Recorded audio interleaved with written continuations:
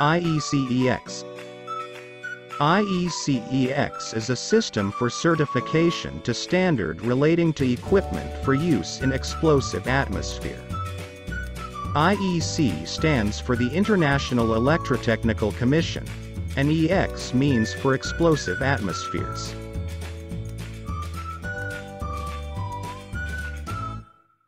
IECEX provides a means for manufacturers, regulators and users of equipment used in hazard area to address the risk of fires or explosion from flammable gases or dusts.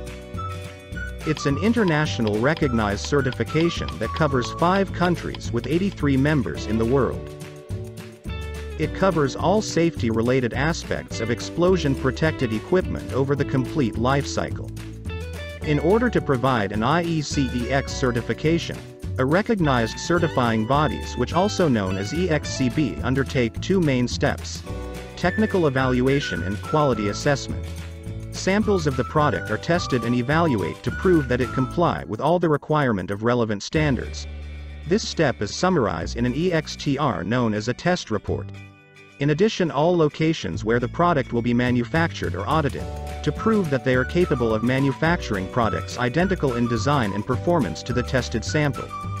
This quality assessment is summarized in a quality assessment report known as QAR. Only, if these evaluations are successful, may a product be IECEX certified. Once a certificate of conformity is issued by the EXCB, the product is assigned a unique certificate number to be placed on the product nameplate. IECEX Certificate of Conformity these are some example for IECEX COC. These certificate numbers have four main parts. The first one shows for IECEX certification. UL means which certificate body been issued. 13 showed that a product been issued in that year.